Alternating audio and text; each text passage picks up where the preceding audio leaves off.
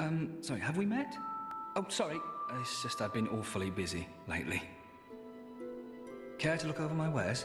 Please, be my guest. I upgraded my stock recently, although it may be a bit out of your reach.